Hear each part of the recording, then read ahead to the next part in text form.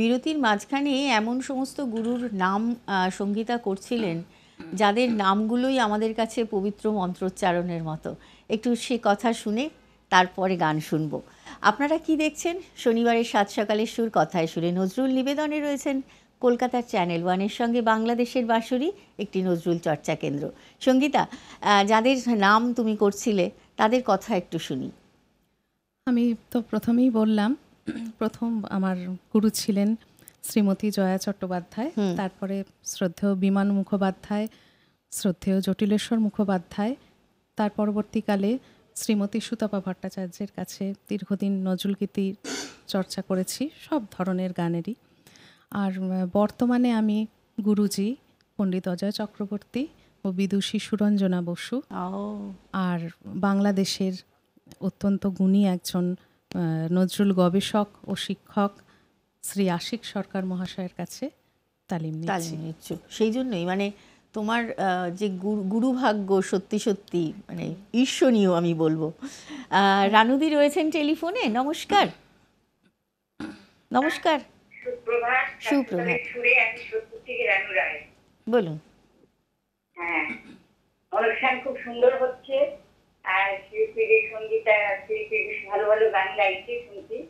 হ্যাঁ, যে কটা গান গাইলো প্রত্যেকটাই সুন্দর। আর আসর তো খুবই জমজমাট সঙ্গে আছে অপূর্বদা এরা সঙ্গেটা আরও জমজমাট। ভরে যায় অনুষ্ঠানটা আরও জমজমাট হয়ে যায়। আমি একটা সঙ্গীতা দিই সংযুক্ত দিই সংযুক্ত দিয়ে আমি একটা অনুরোধ রাখি ছোট্ট। নিশ্চয়ই। আমার গানের মালা আমি করব কারে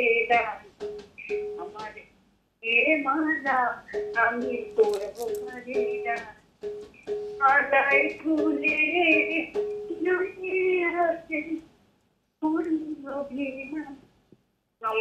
নমস্কার নমস্কার। খুব চমৎকার একটি গানের উল্লেখ করেছেন অনেক ধন্যবাদ এভাবে সঙ্গে থাকার জন্য আপনারাও টেলিফোনে আসতে থাকুন নাম্বার তো আপনারা প্রত্যেকেই জানেন eight double three five zero double two double five eight এই নাম্বারে। আমরা সঙ্গীতার কাছে যাই। সঙ্গীতা এরপরে কি শোনাবে বলো? এরপরে যে গানটি গাইছি আজকে তো পবিত্র মহরম। সেই উদ্দেশ্যে ইসলামী গান। ইসলামী গান। শুনি। আচ্ছা এই গানটিও উনিশশো সাঁত্রিশ সালে এটি এটি প্রথম প্রকাশ হয়। আর প্রথম শিল্পী যিনি ছিলেন যে যিনি এই- গানটি গেয়েছিলেন সাকিনা বেগমজি আচ্ছা। ওনার কণ্ঠে এটি আমরা পেয়েছি। হুম। আচ্ছা এই গানটির কিন্তু কথা কাজী নজরুল ইসলাম সুর শ্রী কমল দাশগুপ্ত মহাশয়ের। ফিরোজা বেগমের গতকাল আমরা হ্যাঁ, জন্মদিন পালন করেছি। আজ কমল দাশগুপ্তর সুর। অবশ্যই।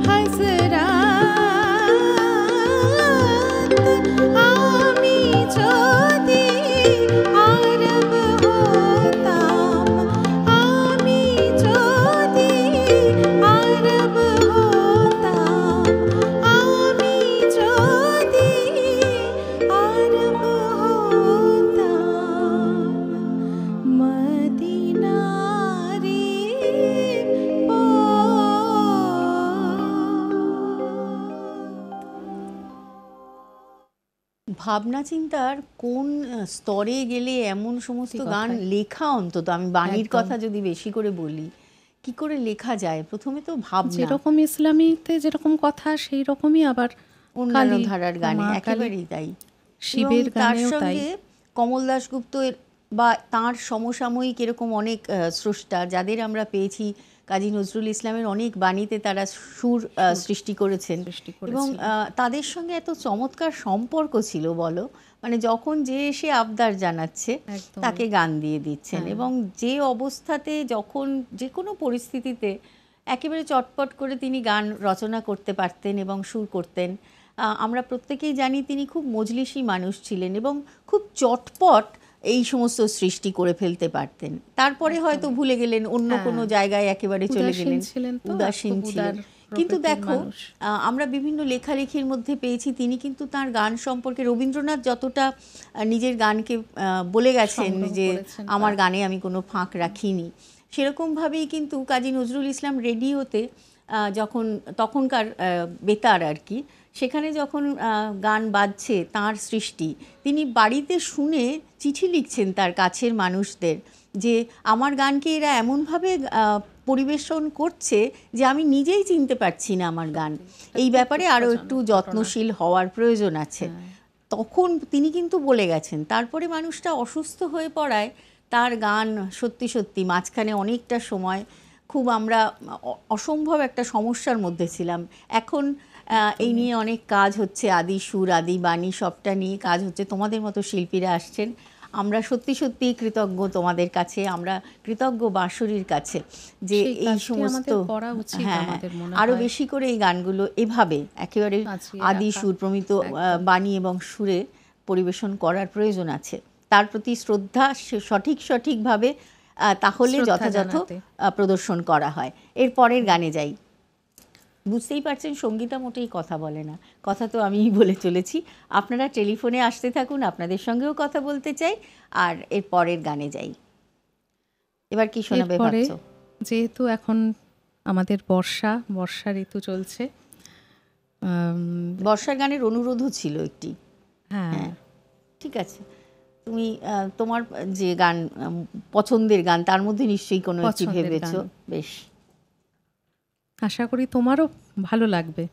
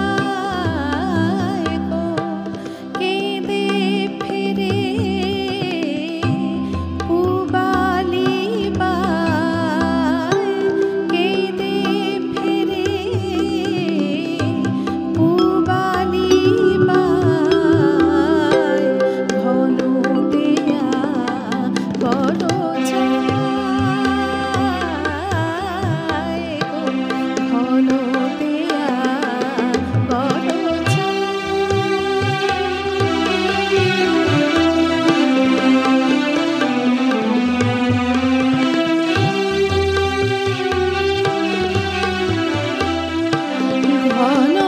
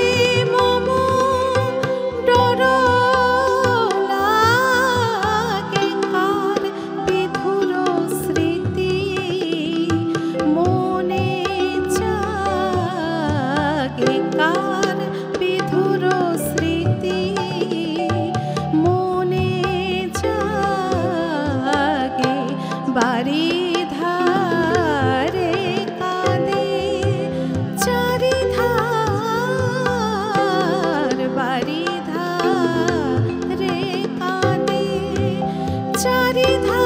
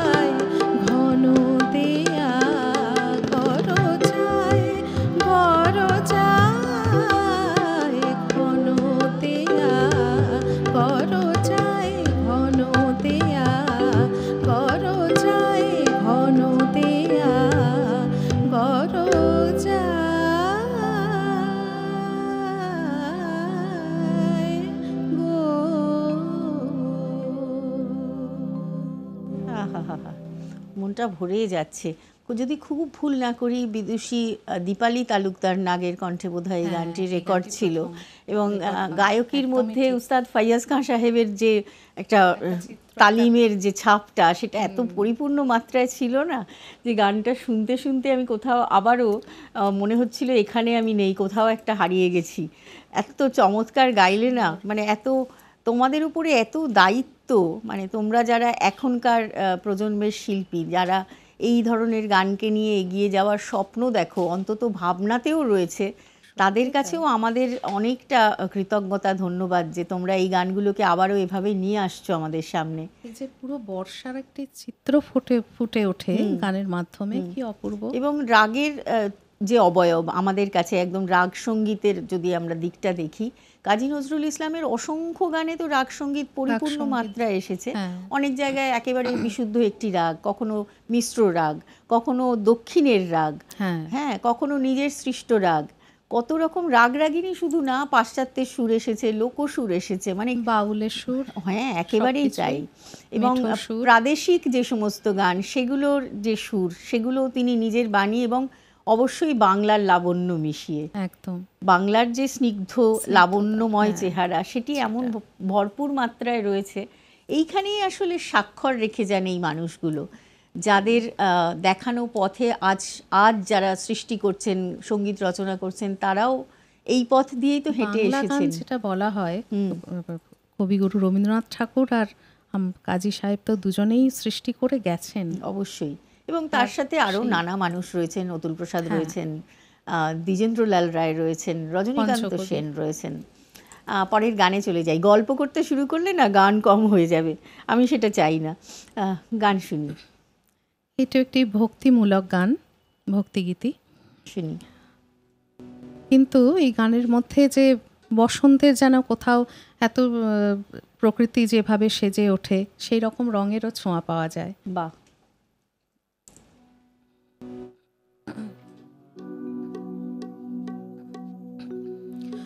গগনে